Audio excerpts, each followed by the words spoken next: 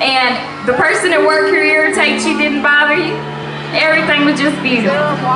Then you don't ask any questions about it. You just move on through those moments and you say thank you.